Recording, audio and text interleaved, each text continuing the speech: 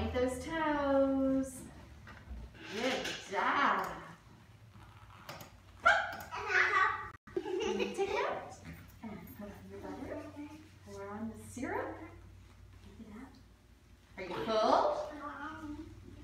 Are you full? Yeah? Yeah? All right, let's move on. Let's do your flour. What kind of flour are we going to be using? Oh, oh has she been looking forward to flour? Yeah. Oh, did you teach mom how to do it? Now she knows how. Okay, what kind of flower are we going to be? Rose. Ooh, what color? Red. A red rose. All right, put your feet together, Ava. Move your legs close. There you go. All right, everybody, close your red petals and wake up in the morning and blow in the breeze. Ava, you go first. What's out there? Um, a fox. A fox. Close your petals. Is he gone? Yeah. Is he gone, Ava? Yes. Okay, open up. Marley, what's out there? A house cat. A House cat.